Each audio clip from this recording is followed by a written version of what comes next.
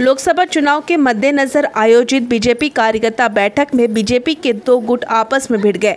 बता दें कि पूर्व जिला अध्यक्ष रवि व्यास और पूर्व विधायक नरेंद्र मेहता के कार्यकर्ताओं के गुट में तूतू मैमे हो गई।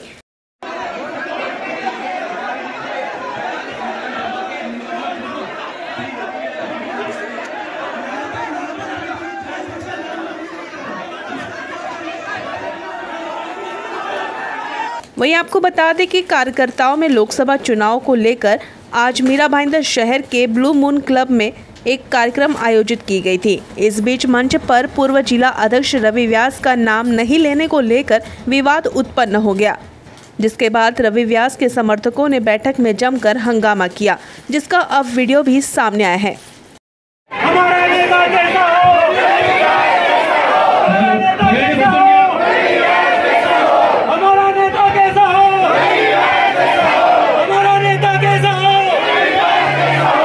इस मौके पर मेहता और व्यास समर्थक आपस में भिड़ते नज़र आ रहे हैं। मीरा भाईदर में मेहता और व्यास गुट बीजेपी में आंतरिक विवाद एक बार फिर सामने देखने को मिला है।